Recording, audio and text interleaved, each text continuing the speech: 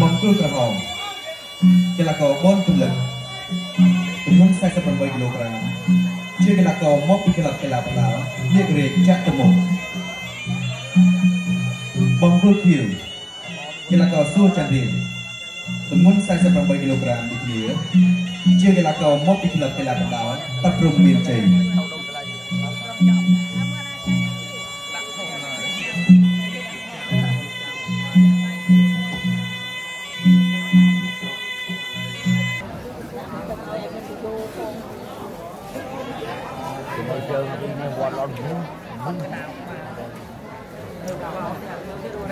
បដាកម្មខ្មែរអ្នកប្រយុទ្ធកម្ពុជាធម្មពលឆាំពៀនគូពិសេសទី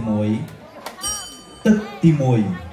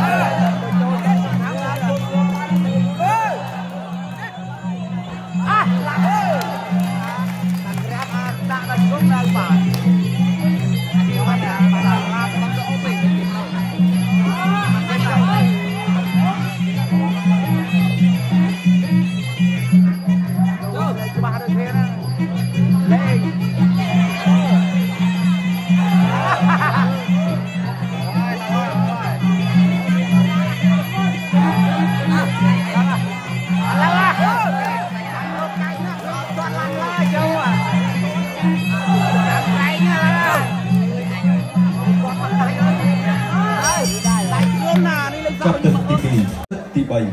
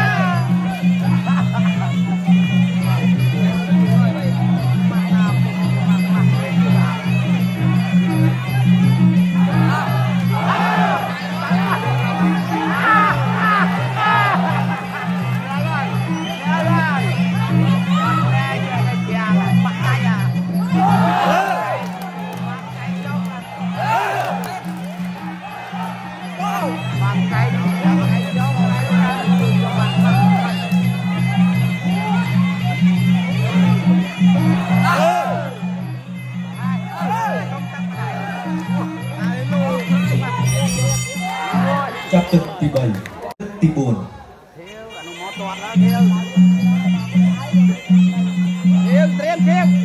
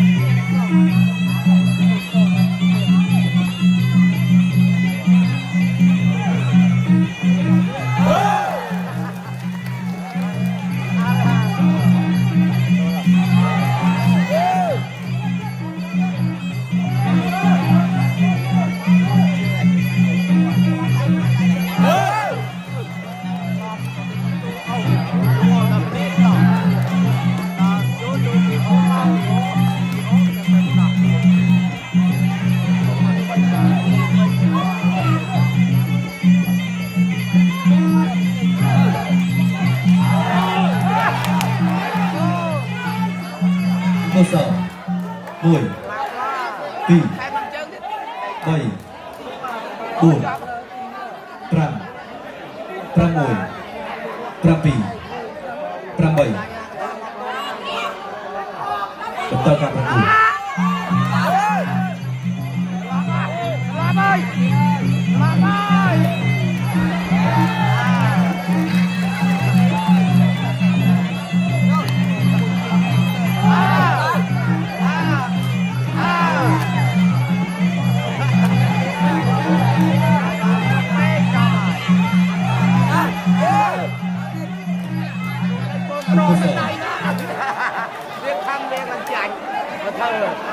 やれんやれんあいあいあいあいあい。